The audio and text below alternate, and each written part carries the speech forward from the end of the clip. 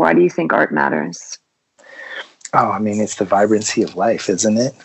I mean, it is. It's, I, I you know, oh, we could talk about this for another long time, but, you know, in short, um, it's it's the humanity. It's you know that people have a pulse. You know that people care. You know that they're alive, that they're suffering, that they're thriving, that they're loving, that they're upset about something.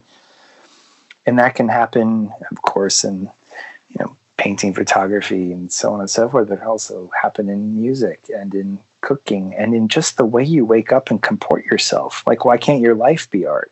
You know, I, I think that that's that's what I tell myself is wake up and make it good and, and tell myself I get to do this instead of I have to do this. There's an art to that too.